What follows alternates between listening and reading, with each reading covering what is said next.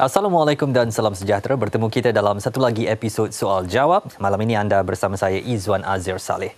31 Mac ini, warga Sarawak dan Sabah akan pasti bergembira dengan pelancaran Lebuh Raya Pen Borneo Sarawak atau LPBS.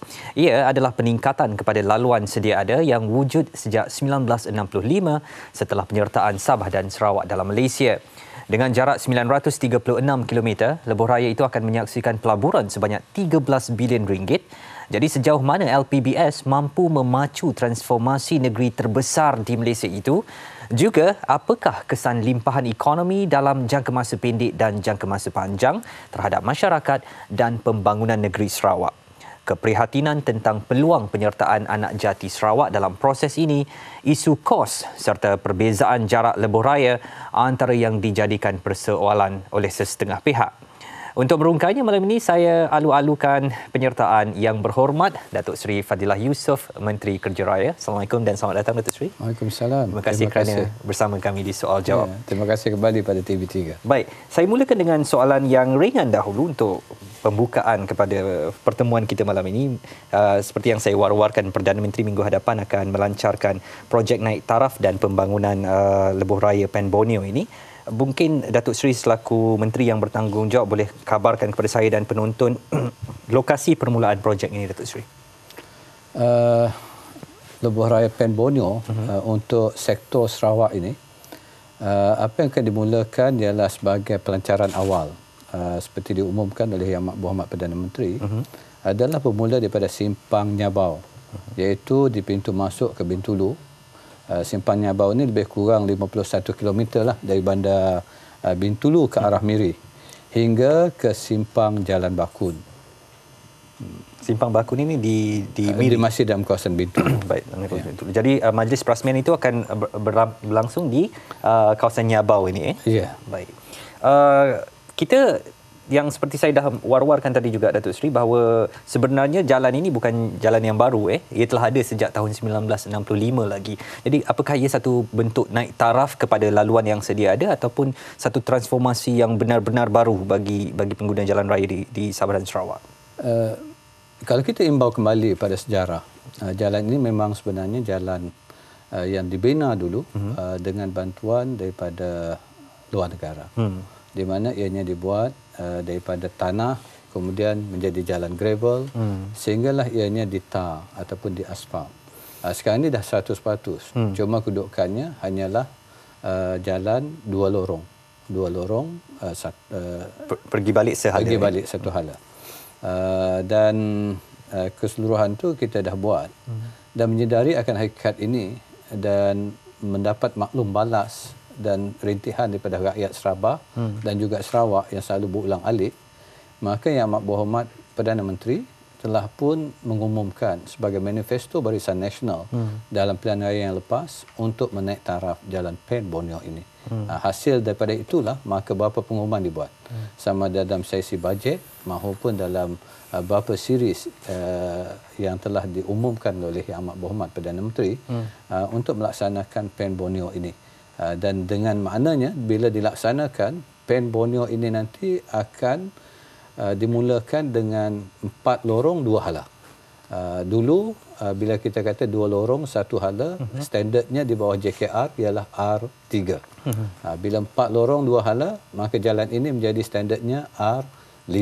R5. Uh, dan untuk keseluruhan yang kita dah buat kalau kita imbau dari segi sejarah Sarawak saja uh-huh. ada beberapa jalan yang telah pun dinaik taraf menjadi empat lorong. Tapi bukan keseluruhan. Hanya di bandar-bandar besar dan kawasan-kawasan yang utama uh, dah di, dibuat. Uh, tapi untuk itu kalau kita melihat keseluruhan yang akan dibuat dalam kaedah yang akan dilaksanakan oleh syarikat konsesi yang telah dilantik diluluskan oleh uh, EPU melalui unit kerjasama awam swasta dan juga MOF Uh, syarikat ini nanti bertanggungjawab untuk melaksanakan sepanjang 919 km hmm. uh, menjadi tahap uh, 4 lorong 2 hala. Hmm. Uh, iaitu antara Nyabau ke Bakun tadi 43 km. Uh, Tanjung Datuk ke Sematan 40 km. Cuma Tanjung Datuk ke Sematan 40 km ini saja yang akan dibuat berasaskan R3 tiga. Hmm. Sebab kependudukan di situ tak, belum belum, belum tinggi. mencukupi. Hmm. Bukan saja tak mencukupi, sekarang ini pun uh, memang tak ada jalan pun. Hmm. Uh, jadi kita buat jalan asas menjadi R3. Uh, iaitu itu lebih kurang 40 km. Manakala fasa 1 nanti daripada Sematan ke Miri lebih kurang 740 km. Hmm. Uh, yang ini semua empat lorong dua hala. Uh, termasuk juga daripada fasa 2 Tedungan ke Merapoh. Hmm. Merapoh ni ialah sempadan Sabah. Hmm. Uh, yang itu lebih kurang 96 km. Okey. Uh, saya mendengar penjelasan ni sebenarnya saya sendiri merasa teruja dan cuba membayangkan uh, kalau suatu hari nanti Sarawak ada uh, LPBS ni pasti akan memudahkan uh, perhubungan antara satu kawasan ke satu kawasan. Cuma uh, Datuk Seri sebagai uh, anak jati Sarawak sendiri maklumkan kepada saya mengapa keputusan ini sekarang diambil dalam uh, uh, manifesto pilihan raya lalu dan bagaimana penerimaan oleh masyarakat uh, di di Sarawak Datuk Seri. Sudah pasti ini bila diumumkan uh-huh. uh, memang uh, ditunggu-tunggu oleh rakyat Sarawak khususnya yang selalu menggunakan lebuh raya tersebut. Sebab saya sendiri kadang-kadang pergi menggunakan jalan darat. Hmm. Dan bayangkan kalau kita daripada Kuching ke Sri Aman hmm. akan mengambil masa lebih kurang 2 jam setengah. Hmm. Kalau nak ke Betong 3 jam lebih. Wahal jaraknya lebih kurang nak pergi daripada Kuala Lumpur ke Seremban hmm. yang boleh di, uh, kita boleh sampai kurang daripada satu jam. Hmm.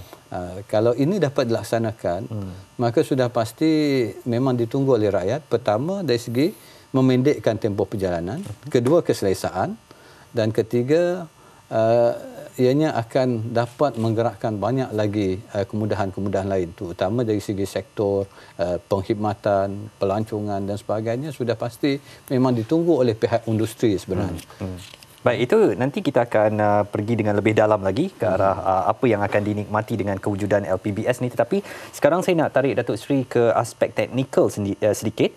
Uh, dalam pembentangan bajet 2015, Perdana Menteri mengumumkan peruntukan 27 bilion untuk uh, memulakan pembinaan lebuh raya Pen Borneo sepanjang 1663 km. Sedangkan uh, jarak uh, LP ataupun lebuh raya sedia ada sekarang adalah 2083 km. Mungkin Datuk Seri boleh terangkan perbezaan-perbezaan angka ini. Uh, jalan yang ada ialah 2083 km tetapi per, uh, pengumuman Perdana Menteri 27 bilion itu akan digunakan untuk 1663 km. Uh, saya kata di peringkat awal tadi hmm. uh, bahawa sebahagian jalan-jalan ini sudah pun menjadi empat lorong. Hmm. Uh, jadi kalau kita dah tolak hmm. jalan sebahagian yang dah jadi empat lorong dan juga sebahagian uh, jalan yang di Sabah hmm. sebenarnya walaupun dibuat oleh kajian persekutuan tapi jalan negeri hmm. yang belum diisytiharkan sebagai jalan persekutuan ada lebih kurang 300 km. Hmm. Uh, jadi kalau kita tolak keseluruhannya sebab itu jadi jumlahnya uh, menjadi agak kurang. Hmm. Uh, jadi persoalannya mengapa jalan lebih pendek tapi kos lebih tinggi. Hmm. Uh, sebab anggaran permulaan dulu bila dirancang untuk membuat pen Borneo ini hmm. adalah berdasarkan anggaran pada tahun 2009. Hmm. Uh, dan perancangan 2009 itulah anggaran kita buat uh, berdasarkan anggaran harga tanah pada waktu itu. Hmm. Uh, harga-harga barangan ataupun uh, building material hmm. yang akan digunakan.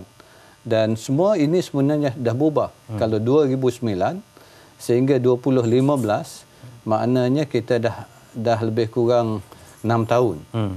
uh, masa dan sudah pasti harga nilai tanah dah naik material sudah naik dan sebagainya sebab itu dari segi jarak walaupun jaraknya lebih pendek uh-huh. tapi kos meningkat uh-huh. dengan keadaan semasa uh, sebab itu perbezaan bila kita melihat uh, dan membuat pengiraan uh, jadi akan timbullah perkara-perkara yang yang saya katakan tadi kos meningkat walaupun jarak lebih lebih pendek dan bila kita berbincang dengan kerajaan negeri hmm. ada juga permintaan untuk pelebaran hmm. setengah-setengah tempat tu lebih daripada apa yang yang dirancang lebih awal hmm. uh, termasuklah untuk menyediakan kemudahan-kemudahan dari segi R&R dan kemudahan-kemudahan lain jadi ini yang menyebabkan uh, kos tu meningkat sebabkan uh, bukan saja untuk membuat jalan, bukan saja pampasan, tapi kemudahan di sepanjang lebuh raya ini nanti hmm. akan diperbanyakkan atas permintaan uh, kerajaan negeri untuk keselesaan uh, rakyat yang menggunakan hmm. uh, jalan-jalan tersebut nanti. Baik, kabarkan kepada saya apa bentuk kemudahan yang akan dilakukan dengan kos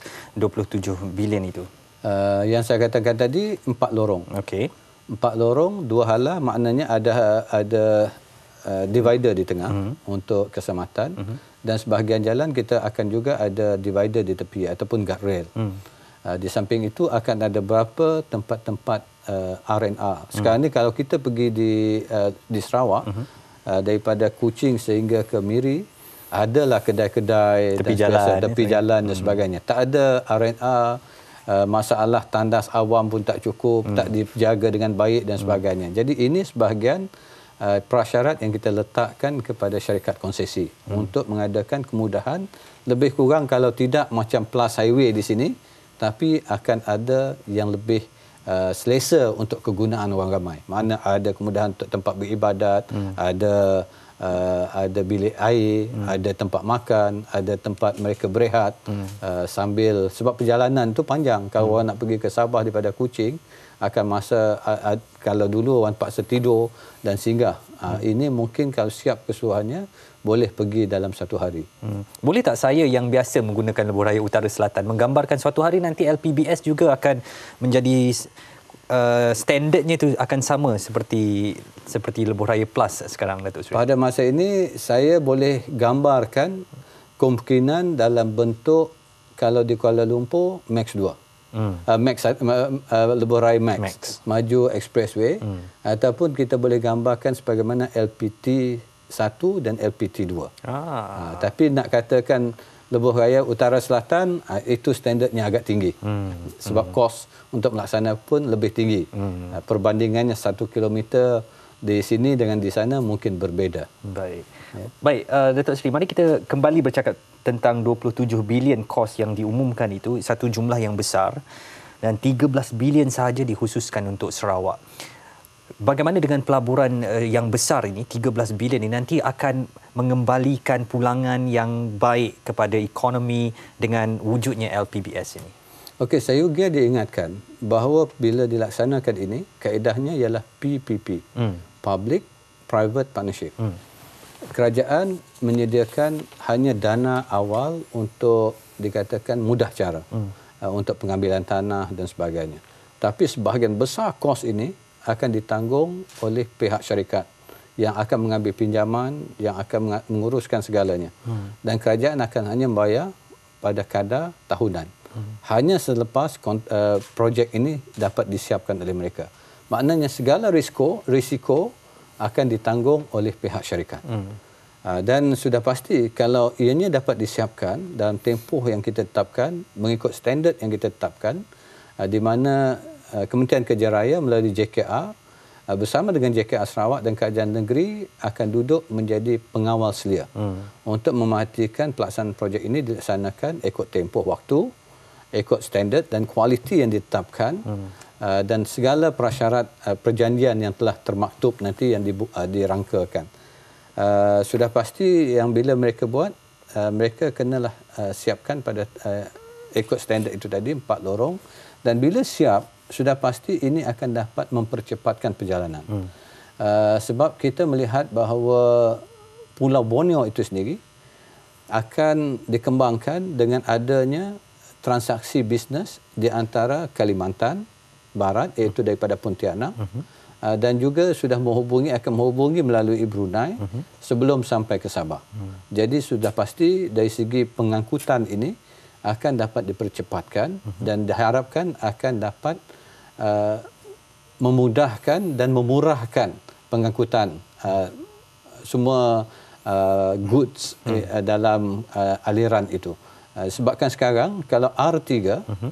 dua uh, lorong dua uh, hanya dua lorong uh-huh. satu berat muatan tak dapat besar. Hmm. Mana lori besar tak boleh lalu. Hmm. Uh, kalau R5 makna lori makin besar hmm. kontainer pun besar jadi muatan tu makin banyak jadi kos pengangkutan jadi lebih murah hmm. dan diharapkan ianya akan uh, memur, uh, dari segi harga barang-barang disampaikan pada penduduk Sarawak itu sendiri hmm. akan dapat uh, dalam keadaan yang yang lebih baiklah hmm. tidaklah semahal yang ada sekarang hmm. itu yang pertama Kedua, dengan kemudahan ini juga saya mengharapkan akan banyaklah pelancongan masuk. Hmm. Sama ada daripada Indonesia, daripada Brunei dan daripada luar negara. Hmm. Sebab kalau orang datang Kuching saja, produk di Kuching itu mungkin terhad. Hmm. Uh, dan kalau jalan lebih baik maka akan menggalakkan orang untuk pergi ke tempat-tempat lain hmm. di mana banyak tempat pelancongan hmm. di sepanjang lebuh raya ini banyak tarikan hmm. termasuklah ke Mulu dan kita boleh membuat pakej pelancongan ke Sarawak bukan saja Sarawak mereka ada pilihan untuk pergi ke negara jiran kita di eh, di Pontianak hmm. dan boleh pergi ke Brunei dan terus masuk ke Sabah jadi pakej yang lebih baik jadi hmm. lebih mudah untuk kita mengadakan uh, produk pelancongan yang lebih atraktif untuk menarik pelancong-pelancong. Hmm. Dan yang lebih utama ialah kemudahan kepada rakyat kita sendiri. Mudah untuk mereka berhubung hmm. uh, dan perjalanan mereka lebih selesa dan lebih utama lebih selamat. Hmm. Dengan syarat bahawa kita kena patuhi, patuhi uh, segala peraturan jalan raya. Hmm. Uh, masalahnya bila jalan lebih baik, persepsi orang ramai jalan dah lurus dah besar boleh maka boleh lebih memandu laju, memandu laju. Hmm. jadi kelajuan adalah musuh utama bila kita berada di jalan raya. Baik. Datuk Seri uh, saya nak tahu juga uh, bila Datuk Seri kabarkan tentang tempoh waktu ni. Pelancarannya 31 Mac bila dijangka selesainya. Dan satu lagi yang saya nak tanya Datuk Seri lah mungkin bandar-bandar kecil yang agak sepi kalau boleh Datuk Seri namakan satu atau dua yang mungkin akan berubah wajah dengan wujudnya LPBS ini Uh, tempoh waktu kalau ikut perancangan kita uh, yang peringkat awal ini uh, untuk pakej pertama uh-huh. uh, tarikh milik tapak ialah 31 Mac ini. Okay. Dan kita jangkakan boleh disiapkan dalam tahun 2017. Uh, itu pakej pertama. Uh, sebab kita beri tempoh untuk 30 bulan uh-huh. untuk mereka menyiapkan uh, pakej pertama ini. Uh, kalau kita lihat uh, di pakej pertama ini uh-huh. mengapa kita memilih uh, simpang Nyabau, Nyabau uh-huh. ke Bakun. Sebab sinilah uh, merupakan industri utama di mana menjadi nadi untuk pembangunan Sarawak pada masa akan datang. Kita ada skor di sana. Uh-huh. Skor ialah uh, Sarawak Corridor of Renewable Energy. Uh-huh. Semua kegiatan industri baru, industri berat termasuklah yang uh, di Bakun dan juga di Samalaju. Uh, di mana ramai pelabur-pelabur dah masuk hmm. tapi mereka berkendakkan jalan yang lebih baik. Uh, sebab itu kita beri tumpuan sini supaya pengangkutan daripada industri tempat mereka uh, kilang mereka dan menghantar ke pelabuhan sama ada di Bintulu ataupun di uh, kawasan berdekatan itu lebih mudah perjalanannya hmm. Hmm. dan tiada berlaku kesakan dan mereka boleh mengangkat dalam volume yang lebih besar. Hmm. Uh, it, itu yang kita laksanakan. Dan keseluruhan nanti bila dimuktamadkan kita mengharapkan selewat-lewatnya 2022 hmm. uh, keseluruhan jalan ini akan dapat disiapkan 2022 ya Baik, saya percaya malam ni ramai penonton kami di Sarawak sedang tersenyum menantikan uh, kegairahan untuk memiliki lebuh raya moden ini. Tetapi bagaimana pula tentang tol yang kebiasaannya bila ada lebuh raya pasti ada tol? Kita akan menanyakan soalan itu selepas kita kembali. Jangan ke mana-mana, soal jawab rehat seketika.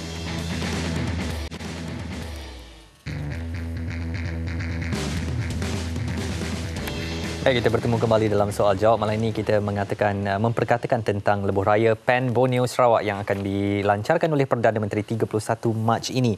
Baik, sebelum kita berhenti berehat tadi Datuk Seri saya katakan tentang tol. Sinonim sekali dengan pembinaan setiap lebuh raya. Ada ura-ura mengabarkan bahawa LPBS tidak akan ada tol. Jadi saya nak mendapatkan kepastian Datuk Seri sendiri. Uh, apakah akan ada tol atau sebenarnya tidak akan ada tol? Pertama saya kena jelaskan hmm. konsep tol merupakan di mana uh, highway itu hmm. adalah jalan alternatif. Hmm. Maknanya mesti ada jalan utama yang diberikan pada rakyat kita secara percuma. Hmm. Misal kata di Tanah Semenanjung ini kita ada Federal Road 1. Hmm. Siapa-siapa nak guna memang dual carriageway free. Tapi kalau dia nak guna highway nak cepat hmm. Dia kena bayar. lebih besar dia kena bayar. Hmm. Ha, itulah dia pilihan dia sama ada dia menggunakan plus highway ataupun mana-mana highway yang lain. Hmm. Tapi yang lain tu free. Sama juga dengan dalam Kuala Lumpur. Hmm. Ada jalan yang tak kena tol, ada jalan uh, ada yang yang ada tol. Sebab dia mesti ada alternatif hmm. pilihan. Di Sarawak, Pen Borneo hanya satu-satunya jalan. Hmm. Makna belum ada alternatif. Uh, sebab itu bila dibuat jalan ini Uh, sebab itu kerajaan kata tidak akan dikena tol hmm. sebab itu konsep yang diperkenalkan uh, melalui unit kerjasama awam swasta Kementerian Kewangan hmm. uh, dan di mana JKR terlibat secara teknikal hmm. maka disyorkan jalan ini tak ada tol sebab dia jalan-jalan asas utama untuk masa ini memang diputuskan tiada tol tapi kaedahnya ialah hybrid di mana syarikat konsesi dia biayai dulu tapi dia akan dibayar secara tahunan bila dia dah siap nanti. Hmm. Kerajaan yang akan membayar. Jadi tidak ada tol eh? Tidak ada tol. Baik, itu satu perkabaran yang pastinya menggembirakan. Datuk Seri juga katakan ini satu model kerjasama awam dan swasta.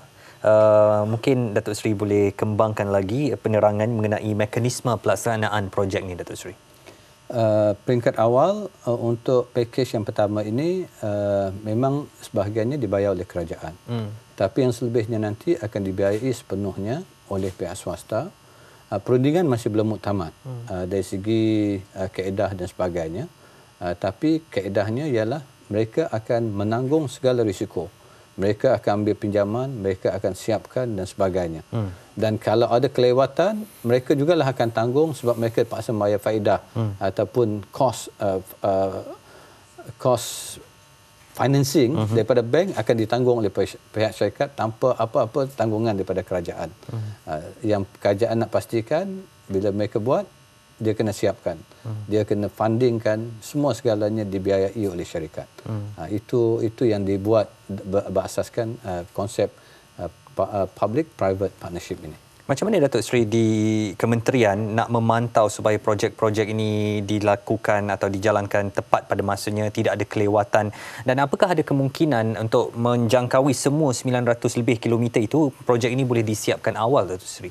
Uh, kaedahnya ialah mungkin dipecahkan uh, dengan beberapa package. Hmm.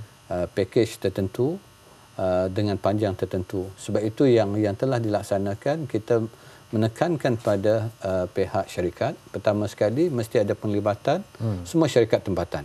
Sama ada daripada konsultan maupun uh, kontraktor-kontraktor.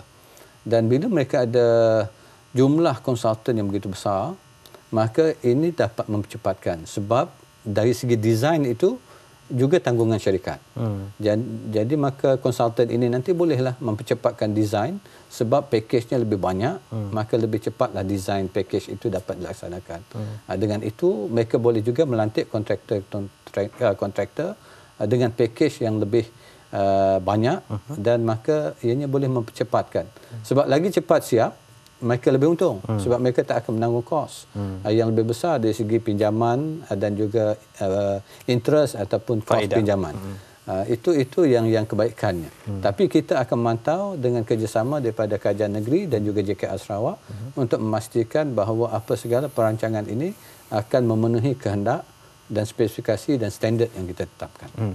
Uh, kalau boleh Datuk Seri ceritakan bagaimana proses uh, uh, penawaran tender dan sebut harga ini dilakukan dan uh, saya percaya ramai mungkin uh, uh, anak-anak Sarawak yang mengintai kalau-kalau mereka mempunyai peluang untuk sama terlibat dengan uh, projek pembangunan di negeri mereka sendiri. Apakah mereka akan diberi keutamaan atau bagaimana Datuk Seri? Uh, sememangnya sebahagian uh, arahan kita ialah untuk memberi keutamaan uh, pertama sekali pada semua anak-anak uh, syarikat uh, anak, anak tempatan Sarawak. Hmm. sama ada dari segi konsultan maupun kontraktor dan juga uh, suppliers hmm. uh, tapi dengan syarat mereka berkelayakan dan berkemampuan hmm. ada kelayakan dan kemampuan apa yang kita dah arahkan mereka ialah untuk membuat interaksi dengan semua uh, badan-badan NGO perniagaan misal kata Dewan Usahawan Bumi Putra Sarawak the Dayak Chambers of Commerce, the Chinese Chambers of Commerce hmm. dan juga syarikat-syarikat besar yang terlibat dalam bidang construction uh, dan semua ini mereka akan uh, kena mengadakan perbincangan hmm. bagaimana semua pihak ini akan dapat manfaat daripada projek ini sebab hmm. matlamat yang amat berhormat Perdana Menteri bukan saja untuk memudahkan uh, perjalanan dengan adanya projek ini hmm. tapi untuk membantu uh, pengusaha-pengusaha tempatan terlibat bersama dalam pembangunan uh, negeri Sarawak melalui projek ini. Hmm, baik. Um, dan saya nak uh, uh, tahu Datuk Seri kalau uh, akan ada penerokaan-penerokaan tanah baru kerana nak nak membina lebuh raya ni pasti uh, akan ada mungkin pembukaan kawasan baru sedangkan kita tahu Sarawak sangat kaya dengan alam sekitar dan sebagainya bagaimana aspek kelestarian alam sekitar ini dipelihara sebaik mungkin uh, untuk jalan ini saja jajaran lebih kurang 80 uh, 85% akan menggunakan jajaran asal. Asal. Maknanya kita menggunakan uh, jajaran yang sudah sedia ada. Hmm. Cuma dibesarkan. Hmm. Uh, yang selebihnya 15% akan merupakan jajaran baru. baru. Hmm. Mengapa jajaran baru? Sebab ada jalan-jalan yang agak berbahaya dari segi lengkung, bengkang-bengkoknya, naik turunnya uh-huh. dan akan di, diusahakan untuk diluruskan. De- dengan meluruskan jalan tersebut, ianya akan lebih uh, menjimatkan masa dan dari segi aspek keselamatan pun lebih uh, selamat uh-huh. sepatutnya. Begitulah perancangan kita. Tapi apapun penekanan kita, spesifikasi dan standard yang kita tetapkan hmm. ialah untuk memastikan alam sekitar dan semua sudut uh, environment ini mesti terpelihara. Hmm. Uh, jadi memang kita uh, menentukan di mana-mana sekarang ini uh, standard uh, untuk kita memberi kontrak ialah pematuhan dari segi sudut environment, dari segi sudut sosial, uh, semua kena dikaji. Kalau kita membuat jajaran ini hmm. apakah kesan kepada penduduk setempat hmm. adakah memberi impak pada mereka hmm. memberi yang lebih baik ataupun negatif ha, itu semua kena diimbangi hmm. saya percaya akan ada sedikit satu ketika itu nanti akan ada sedikit gangguan trafik dan sebagainya di jajaran-jajaran sedia ada untuk proses pembangunannya semula mungkin Datuk Seri prihatin tentang isu ini sudah pasti sebab salah satu uh, standard kita ke, keselamatan orang awam mesti dijaga. Hmm. Dengan itu mesti ada tanda-tanda uh, dari segi arah jalan kalau ada uh, lencongan kena diberi dengan sebaiknya termasuk pencahayaan dan tanda-tanda amaran. Hmm. Uh, dan pastikan ada orang sentiasa menjaga uh, memberi arahan uh, laluan pada trafik dan sebagainya. Hmm. Mana aspek keselamatan itu adalah salah satu uh, standard operating procedures yang mesti dilaksanakan oleh syarikat. Hmm. Sebab tanggungan mereka juga ialah kalau berlaku kemalangan, tanggungan itu akan ditanggung oleh mereka. Hmm. Dan mereka mesti menjaga uh, kita walaupun ada tanggungan pihak syarikat, kita nak mengelakkan sebarang kemungkinan khususnya kemalangan yang boleh membawa kepada kehilangan nyawa dan kecederaan yang parah. Hmm. Dan mereka mesti menjaga aspek itu dan kita akan pastikan bahawa standard operating procedures ini dipatuhi sepenuhnya oleh pihak hmm. syarikat. Datuk Seri, saya nak kembali kepada soal tol tadi saya baru teringat kalau um, uh, di, Datuk Seri telah mengesahkan tidak ada tol di LPBS ini Uh, tidakkah pihak kementerian risau nanti kalau ada polemik atau persoalan sama dilemparkan oleh pengguna lebuh raya di Semenanjung? Kalau Sarawak yang boleh mempunyai satu jajaran lebuh raya begitu panjang cantik dan uh, standardnya tidak tidak kurang kalahnya dengan lebuh raya di Semenanjung tetapi tidak ada tol uh, mengapa di di Semenanjung akan uh, perlu ada tol bolehkah uh, pihak kementerian berdepan dengan persoalan-persoalan Ingat saya dah katakan tadi hmm. pasal di Sarawak tak ada jalan alternatif oh, itu merupakan jalan utama hmm. yang kedua walaupun kita kata standard nama jalannya hmm. Pen Borneo Highway hmm. tapi standardnya R5 lebih kurang kalau kita melalui jalan persekutuan hmm. uh, FT1 misalnya hmm. uh, itulah standardnya hmm. uh, tidaklah seperti Plus Highway hmm. yang mana jalannya begitu besar hmm. uh, kedudukan kalau kita melihat kosnya lebih besar hmm. kalau nak membuat Plus Highway itu 1 km lebih kurang 20 juta hmm. 1 kilometer yang ini tidaklah sampai ke tahap itu. Hmm. Sebab itu uh, konsesi pun untuk 30 tahun sahaja.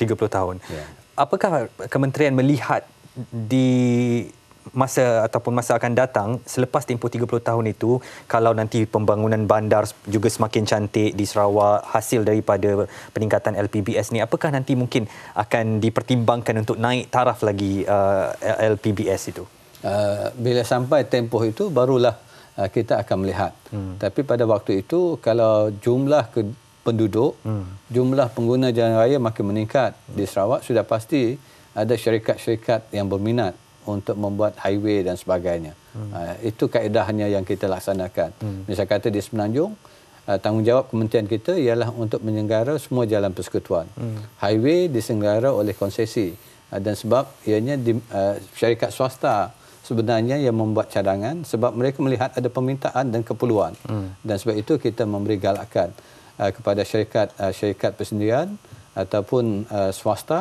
untuk membuat cadangan dan sebagainya hmm. sebab kerajaan tidak akan biayai semuanya di, di, ditanggung dan dibiayai oleh syarikat swasta dan mereka akan dapat pulangan melalui collect, uh, toll collection saya meminjam perkataan Datuk Seri sendiri, permintaan dan keperluan. Saya rasa permintaan dan keperluan ini kalau disuarakan oleh rakyat Sarawak itu telah lama sekali untuk uh, mewujudkan satu jaringan lebuh raya yang yang uh, tinggi standardnya. Mengapa sekarang Datuk Seri? Dalam kita membangun sebuah negeri atau negara, kita kena ada keutamaan. Dan menentukan keutamaan itu, kita kena melihat keperluan. Hmm. Uh, sebab itu di Sarawak dulu dengan keadaan begitu besar negerinya, dengan cabaran uh, bentuk geologi uh, tumpuan pada waktu itu ialah untuk memperbanyakkan jalan-jalan menghubungi bandar-bandar kecil, kampung-kampung dan sebagainya. Hmm. Dan sebahagian ini sekarang ini dah mula nampak. Uh, tapi pada masa yang sama bila kita buat kita kena melihat apakah impaknya kepada ekonomi. Kita buat jalan ini, ada tak kesannya pada ekonomi kita? Peningkatan ekonomi ini akan memberi pulangan dan pulangan ini akan dibagi balik pada rakyat dengan kita dapat uh, memperluaskan jaringan jalan-jalan penghubung yang lain. Hmm. Uh, itu yang yang dilaksanakan. Sebab itu uh, dulu mungkin ini tidak diberi keutamaan hmm. sebab jumlah penduduk, jumlah kenderaan masih belum sebanyak itu. Hmm. Tapi sekarang ini dengan peningkatan bukan saja penduduk di Sarawak, pengguna jalan raya, tapi juga permintaan daripada Indonesia, Sabah dan Brunei, penghubung yang saya katakan di jaringan perniagaan yang makin meningkat di mana keperluan untuk kita tingkatkan jalan ini hmm. supaya menjadi R5 untuk membolehkan kenderaan-kenderaan besar hmm. dan berat untuk melalui. Sekarang ini tak tak cukup. Hmm. Load itu tak tak uh, dapat menampung uh, kenderaan besar dan hmm. berat. Hmm. Uh, jadi ini sebabkan permintaan inilah hmm. sebab adanya industri berat, hmm. industri besar di Sarawak dengan kedatangan pelabur-pelabur daripada China, daripada Jepun, daripada pelbagai negara, hmm. uh, permintaan ini perlu kita uh, penuhi. Hmm. Uh, itu yang yang menyebabkan ada uh, kesan kepada pendapatan ekonomi kita yang membolehkan kita membuat jalan ini. Baik. Uh, betul kan kalau saya salah Datuk Seri? Saya percaya LPBS ni banyak melalui kawasan pantai uh, daripada Kuching nak ke Miri kerana bandar-bandar utama juga di jajaran pantai Laut Cina Selatan itu. Apakah mungkin nanti ada perancangan untuk membawa ataupun meningkatkan uh, laluan-laluan dari kawasan pedalaman yang menghubungkan ke LPBS ini? Uh, memang itu perancangan bersama dengan kerajaan negeri uh-huh. di mana dibantu oleh Kementerian Kemajuan Luar Bandar. Uh, jalan Pen Borneo ini sebenarnya tidak berada di pesisiran pantai. Yang jalan pesisiran pantai kebanyakannya dilaksanakan oleh kerajaan negeri uh-huh. uh, dan banyak pun sudah dilaksanakan. Uh, sudah pasti ianya akan bekerjasama dengan Kementerian Kemajuan Luar Bandar yang membantu uh, dan peruntukan daripada kerajaan negeri itu sendiri. Uh-huh. Dan ianya akan dijaringkan ataupun dihubungkan dengan Pen Borneo ini. Maka jaringan inilah yang akan dapat meningkatkan dan mengembangkan ekonomi setempat hmm. sepanjang jajaran tersebut. Dalam kita nak bercerita proses pembangunan lebuh raya ni Datuk Seri pasti akan ada isu pengambilan tanah. Bagaimana kementerian nak mendepani dengan isu itu dan apakah akan ada pengambilan tanah yang yang besar melibatkan uh, pemilikan tanah peribadi undang-undang tanah di di Sarawak juga sedikit berbeza. Jadi apa yang mungkin boleh uh, Datuk Seri kongsikan tentang isu pengambilan tanah Peng- untuk pembangunan ini? Untuk pengambilan tanah akan diuruskan oleh pihak kajian negeri. Hmm. Uh, dan sudah pasti uh, dari segi perundangan, dari segi proses dan prosedur uh, amat jelas hmm. dan sebenarnya uh, menjadi amalan kita untuk memberi peluang kepada mana-mana pihak.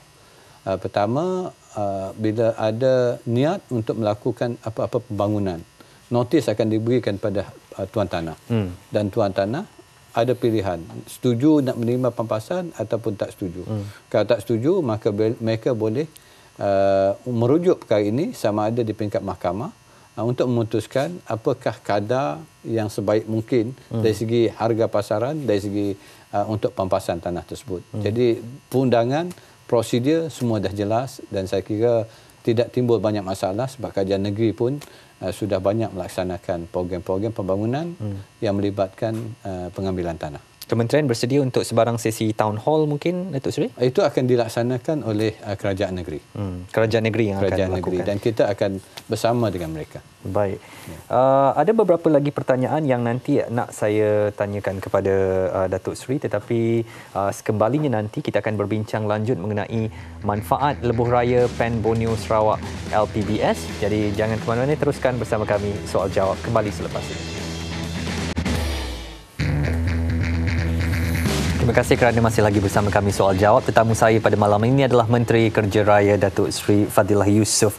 Datuk Seri sebenarnya tidak dapat tidak saya uh, terpaksa beritahu Datuk Seri bahawa saya teruja mendengar sebuah lebuh raya yang panjang seperti LPBS ni tak akan ada tol. Saya diminta juga oleh penerbit dan saya sendiri mahu tahu lebih lebih mendalam lagi formula-formula yang digunakan Itu soalan pertama saya. Dan kedua seperti yang saya tanyakan tadi bahawa mungkin akan ada uh, masyarakat di Semenanjung yang selama ini telah uh, melalui jalan tol uh, Lebuh Raya Bertol. Walaupun Datuk Seri kabarkan uh, kerana itu ada jalan alternatif dan sebagainya. Tetapi apakah kemungkinan pada suatu hari nanti bentuk pembangunan lebuh raya di Malaysia ini boleh kalau tidak ada tol yang dikenakan? Ada kemungkinan. Hmm. tapi melihat pada keadaan sebab sekarang ini kita masih banyak pembangunan infra hmm. pembangunan kemudahan awam termasuk sekolah hospital Uh, balai polis dan sebagainya masih diperlukan. Hmm. Jadi semua kementerian ini akan bersaing untuk mendapat peruntukan. Hmm. Dengan pendapatan, dengan allocation bajet kita yang terhad, uh, sudah pasti sebab itu kita kena ada banyak pendekatan hmm. untuk menyediakan infrastruktur yang dikenaki oleh rakyat. Uh, misal kata uh, jalan lebuh raya. Hmm. Uh, kalau kita nak buat, kalau nak tunggu duit kerajaan mungkin tak cukup. Ah, sebab itu kita uh, menerima pelawaan daripada pihak swasta dan pihak swasta perlu dibayar. Hmm. Jadi adakah kerajaan mempunyai dana mencukupi untuk membiayai? Hmm. Uh, sebab itu tadi yang saya katakan pilihannya ialah kita dah ada untuk lebuh raya betul mesti boleh dilaksanakan hanya bila ada alternatif hmm. uh, jalan utama hmm. yang tidak dikenakan tol. Tapi untuk yang ada sekarang ini disebabkan ini sajalah yang jalan yang ada untuk Sarawak hmm perhubungan di Sarawak itu maka sebab itu tidak dikenakan tol hmm. uh, dan dibiayai oleh uh, pihak swasta dan kerajaan akan membayar untuk tempoh 30 tahun. Pembayaran oleh kerajaan pun termasuk garanti mereka untuk membuat penyelenggaraan tersebut ikut keadaan dan standard yang kita tetapkan. Hmm. Setelah dua blok kita berbincang dengan menumpukan banyak uh, kepada aspek negeri Sarawak, um, marilah kita berlaku adil kepada penonton-penonton kita di Sabah yang mungkin uh, tergaru-garu kepala uh, bagaimana projek ini uh, bentuknya di Sabah dan apakah dalam uh, tahun 2022 apabila ia siap itu ia akan terus uh, siap sepenuhnya di di, di Sabah juga uh, di peringkat Sabah uh, untuk Sarawak pelancaran 31 uh-huh. Di Sabah masih uh, aktif dalam perbincangan di antara peringkat negeri uh, syarikat konsesi yang berminat uh-huh. dan juga di peringkat uh, unit kerjasama awam swasta dan juga Kementerian Kewangan uh-huh. untuk berbincang dan melihat pada semua cadangan yang mereka kemukakan uh-huh. dan juga menetapkan keutamaan jajaran-jajaran yang bakal di uh, dilaksanakan. Sudah ada rancangan Perbincangan jajaran? sudah ada di peringkat Sabah cuma belum dimuktamadkan uh-huh. dan saya mengharapkan Uh, perbincangan di antara negeri dan persekutuan ini akan dapat memutamatkan dengan keadaan cepat uh-huh. supaya di Sabah pun Uh, kita dapat melaksanakan uh, dan menyegerakan pembinaan uh, Pen Borneo di peringkat negeri Sabah. Tidak ada tempoh masa yang diberikan Datuk Seri. Secepat yang mungkin. Memang itu memang dah dah begitu aktif sebenarnya per, perbincangan dan perundingan ini hmm. sedang rancak berjalan. Hmm. Bagaimana dari aspek tol pula di Sabah? Sama. Sama. Sama. Konsep mod, model pembinaannya, model uh, financingnya sama dengan yang di Sarawak. Baik. Uh, mengenai pembinaan LPBS di Sarawak, sebenarnya saya teringat uh, ungkapan rakan saya di di di Sarawak wartawan di Sarawak mengatakan um, beliau akan pasti gembira dengan pembinaan uh, lebuh raya ini kerana kawasannya yang mungkin selama ini kurang um, pembangunan infrastruktur akan mengalami perubahan-perubahan. Uh, Datuk Seri ada tak meletakkan tempoh beberapa lama untuk melihat perubahan-perubahan ini dan uh, mungkin nama-nama daerah-daerah yang kecil yang mungkin Datuk Seri ingin lihat membangun dengan dengan wujudnya jajaran lebuh raya yang yang moden ini? Kalau kita melihat lebuh raya utara selatan hmm. disiapkan dalam tahun 1994. Pada waktu itu bila nak mula dirancang banyak bantahan. Hmm. Tapi bayangkan bila ianya siap. Sepanjang lebuh raya utara selatan apakah pembangunan yang berlaku? Begitu rancak sekali. Betul. Jalan yang dulu uh, kawasan yang terpencil pun sekarang ini rancak membangun. Hmm. Ha, begitu juga saya gambarkan kalau di Sarawak, kalau kita melihat bila kita lebarkan jalan di antara Kuching dan Serian uh-huh. jadi empat lorong. Ha, sekarang ini kos rumah di Kuching agak mahal. Uh-huh.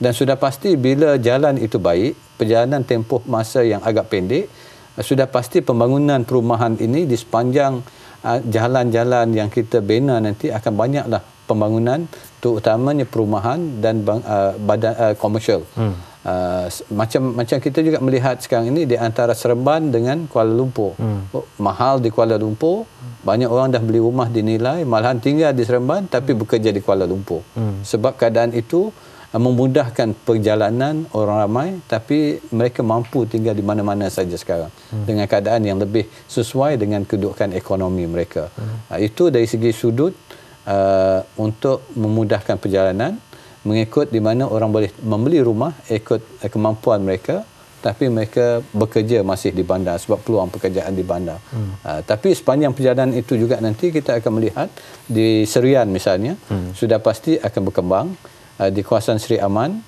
uh, di kawasan Betong, bahagian Betong uh, sebab perjalanan ini akan lebih cepat. Saya melihat hmm. bahawa banyaklah ekonomi aktiviti yang akan berkembang di sana. Sebab di kawasan-kawasan pertanian mereka akan lebih mudah untuk menghantar bahan-bahan uh, perdagangan mereka, hasilan tani mereka untuk ke bandar-bandar di mana harga lebih baik. Hmm. Uh, ini sebenarnya membuka ruang dan peluang hmm. dan diharapkan akan meningkatkan pendapatan petani-petani kita sebab produk mereka boleh dihantar ke pasaran yang lebih baik hmm. harganya. Hmm. Uh, jadi ini yang saya nampak uh, akan berlaku pada masa akan datang. Ada tak Datuk Seri risik-risik dari kerajaan negeri mungkin kawasan-kawasan baru yang akan dibuka untuk um, perindustrian sebagainya? Uh, sudah pasti. Uh-huh. Sudah pasti banyak banyak kawasan yang yang yang saya katakan tadi hmm. yang kawasan baru adalah Samalaju. Hmm, Samalaju. Uh, untuk untuk uh, skor. Hmm. Uh, di Sarawak ada beberapa tempat juga sedang dibuka. Malahan di Serian itu saya dah nampak hmm. sekarang ini walaupun belum sepenuhnya jalan itu menjadi um, empat lorong hmm. dah nampak banyak uh, kegiatan komersial hmm. yang sedang rancak dikembangkan dibangunkan di sepanjang jajaran tersebut. Hmm. Saya nak tahu Datuk Seri kenapa laluan dari uh, Miri ke Lawas akan melalui Brunei dan mengapa tidak tidak tidak dibina mengelilingi Brunei tanpa memasuki uh, kawasan negara mereka? Uh, saya kira dua sebab utama. Hmm. Uh, pertama kalau kita nak mengelilingi bandar uh, negara Brunei hmm jajarannya akan lebih panjang. Hmm. Uh, bila jajaran lebih panjang, kos lebih tinggi. Uh, tapi dari segi ekonomi upscale, tak ada sebab tiada kependudukan di, di sepanjang jajaran, hmm. jajaran tersebut. Hmm. Uh, sebab itu kita memilih untuk masih melalui negara Brunei Darussalam. Hmm. Uh, sebab kita kena melalui itu juga untuk kita menjaga hubungan yang baik selama ini antara Malaysia, hmm. apatah lagi Sarawak dengan Brunei. Hmm. Uh, sebab kita ramai keluarga-keluarga masih ikatan persaudaraan di sana dan sebagainya. Sudah pasti melalui negara tersebut bukan saja membantu negara Brunei tapi dapat juga membantu negara kita. Hmm. Sebab Brunei uh, dari segi penerbangan mereka mempunyai akses kepada international uh, route eh route. laluan laluan ha, jadi kita boleh bekerjasama sebab Sarawak dan Brunei sebenarnya sudah ada persefahaman hmm. untuk menjadikan Brunei sebagai entry point untuk negeri Sarawak hmm. sebab kita ada masalah untuk mendapat international route hmm. uh, direct uh, ke Kuching jadi masuk melalui Brunei dan Brunei akan pergi ke Sarawak sebab dekat dan sebagainya hmm. uh, ini salah satu strategik uh, ya, strategi yang dilakukan untuk sebagai strategic relationship antara negara Brunei dan uh, negara Malaysia melalui negeri Sarawak. Hmm. Datuk Seri sebagai uh, anak Sarawak sendiri uh, tidak dapat tidak ada lagi kawasan di Sarawak yang ketika ini masih belum mempunyai kemudahan-kemudahan asas bekalan elektrik 24 jam, air bersih dan sebagainya. Apakah dengan pembinaan ini uh, akan memberikan harapan kepada mereka yang menantikan uh, penambahbaikan uh, pembekalan bahan-bahan asas ini, keperluan asas ini supaya mereka juga akan ikut sama dengan perkembangan kemajuan itu? Uh, itu memang menjadi komitmen hmm. uh, Yang Amat Berhormat Perdana Menteri melalui pelbagai pendekatan dan uh, dengan melalui pelbagai kementerian uh, untuk elektrik, untuk air dan sebagainya di bawah Kementerian Kemajuan Luar Bandar. Hmm. Alhamdulillah dengan pendekatan yang kita buat uh, dapat dipercepatkan bekalan elektrik dan air. Hmm. Uh, sekarang ini lebih 90%. Hmm. Uh, yang tinggal sekarang ini ialah kawasan-kawasan terpencil di mana kos pemasangan begitu besar sekali. Jadi pelbagai pendekatan dilaksanakan di peringkat negeri sekalipun. Cuba untuk membawa dengan pembangunan uh, rural growth center supaya yang jauh terpencil itu dapat pindah disediakan tanah dan sebagainya untuk tinggal di rural growth center di mana semua kemudahan ada. Hmm. Sebab kalau kita bandingkan untuk menyampaikan kemudahan di kawasan yang penduduknya kurang daripada 10 orang. Hmm. Tapi kosnya begitu besar. Hmm. Ha, memang bukan kerajaan mengenepikan hak mereka. Kerajaan menyediakan alternatif. misal kata melalui solar, hybrid dan sebagainya untuk memberi kemudahan elektrik dan uh, bekalan air kepada mereka hmm. melalui kaedah-kaedah alternatif. Uh, tapi itu tidak akan dapat memberi uh, jaminan hmm. kepada mereka sebab grid adalah lebih baik dari segi supply uh, elektriknya. Uh, kalau dia ada dapat sambungan pipe lebih baik sebab kadang-kadang kawasan terpencil ini kalau waktu kemarau mungkin air sungai kering dan sebagainya mereka hmm. tak dapat bekalan air. Hmm. Ini uh, memang agak agak sukar untuk kita tangani hmm. sebab kedudukan mereka yang agak terpencil. Hmm. Tapi tidak menidakkan hak mereka, memang usaha kerajaan berterusan. Uh, sebab itu beberapa pendekatan yang kita laksanakan. Hmm. Untuk kita uh, uh, mengakhiri kita punya pertemuan hari ini, uh, Datuk Seri, mungkin saya nak Datuk Seri um, uh, beritahu kepada mungkin ada segelintir pihak yang pesimis ya, yang yang tidak yakin dengan keperluan ini. Mungkin kata orang Sarawak, kami sudah hidup lama si ada lebuh raya pun tak apa kan, tak ada masalah. Jadi tak perlu nak ada lebuh raya ni. Bagaimana uh, Datuk Seri mungkin nak nak um, melawan ataupun uh, memberikan uh, uh, pencerahan baru kepada mereka ni bahawa ini adalah sesuatu yang baik kepada negeri Sarawak dan akan ada kenikmatan uh, ekonomi pembangunan infrastruktur yang lebih baik dengan dengan lengkapnya LPBS ini nanti. Uh, kita, yakinilah bahawa bila kita melaksanakan satu projek bukan saja memberi kebaikan dari segi kemudahan tapi kita kena lihat apakah kesannya bila kita melabur dalam projek uh, pembinaan. Hmm. Uh, mengikut World Bank, bila kita melakukan satu-satu projek infrastruktur, dia akan ada multiplier effect hmm. ataupun kesan berganda Betul. kepada satu-satu projek. Misalnya kalau kita ambil kayu pengukur digunakan oleh uh, Bank Dunia. Hmm. Setiap satu juta yang kita belanja, dia akan mewujudkan peluang uh, sebanyak 30 hingga 30 tiga peluang pekerjaan satu juta. Hmm. Dan kalau kita ambil untuk Sarawak saja 13.35 juta uh, bilion, bilion nak kita belanjakan hmm. maknanya kita akan mewujudkan peluang pekerjaan 400,000 orang. Wow. Bayangkan. Hmm. Ini kesan. Walaupun mungkin tak sampai banyak itu, hmm. tapi kajian ini memang terbukti. Sebab bila kita nak buat satu-satu projek pembinaan, hmm. kita perlukan pembekal. Hmm. Malahan orang yang bekerja nak makan. Hmm. Siapa yang buat catering bolehlah bawa hantar ke sana, hmm. uh, hantar bekalan makan dan sebagainya untuk berjual dan sebagainya. Hmm. Uh, bayangkan semua value chain ini sebenarnya memberi peluang kepada rakyat kita untuk terlibat bersama. Hmm. Sama ada pengangkutan dari segi pekerjaan, dari segi uh, profesional akan dapat bahagiannya, kontraktor akan dapat bahagiannya, hmm. uh, semua orang akan dapat bahagian. Sebab itu multiplier itu amat besar dan ini sudah pasti membantu dari segi pendapatan hmm. uh, rakyat Sarawak hmm. dan di samping yang lain-lain itu sudah sektor per, uh, sektor pengangkutan sektor pelancongan yang saya sebut awal tadi sudah hmm. pasti uh, akan merasai uh, bila projek ini siap nanti. Ini menunjukkan keprihatinan kepimpinan Perdana Menteri Datuk Seri Muhammad Najib kepada negeri Sarawak secara khusus dengan uh, uh pembinaan uh, LPBS ni uh, dan mungkin sedikitlah sebelum kita uh, menutup pertemuan ini apa saja yang akan dilakukan oleh Perdana Menteri Datuk uh, Seri ketika uh, melawat ke Sarawak termasuk melancarkan LPBS ini. Uh, saya dimaklumkan yang Mak Berhormat Perdana Menteri bukan saja akan datang khusus untuk uh, melancarkan uh, permulaan uh-huh. uh, pembinaan lebuh raya Pen Bonus seperti mana beliau janjikan. Uh. Uh, tapi yang lebih utama ialah untuk berjumpa dengan rakyat Sarawak itu sendiri dengan pelbagai program. Uh-huh. Uh, beliau akan melawat beberapa tempat dan sebagainya dan membuat interaksi dan akan dapat maklum balas daripada rakyat. Uh. Uh, itulah yang amat berhormat Perdana Menteri kita. Dia dalam kesibukan, dalam kepayahan, dia akan sentiasa berusaha untuk mendampingi rakyat kita. Uh, dan bila beliau berjanji, dia beliau melaksanakan, mengotakan janji. Ini yang dikatakan projek janji ditepati uh-huh. sesuai dengan manifesto Barisan Nasional yang beliau lafazkan. Dan inilah hadiah untuk rakyat Sarawak. Datuk Seri Fadilah Yusof, Menteri Kerja Raya, meja soal jawab mengucapkan ribuan terima kasih kerana kesudian meluangkan masa bersama kami pada malam ini. InsyaAllah kita bertemu lagi dalam mana-mana kesempatan. Dan itulah dia berita baik yang dikabarkan oleh Menteri Kerja Raya kita.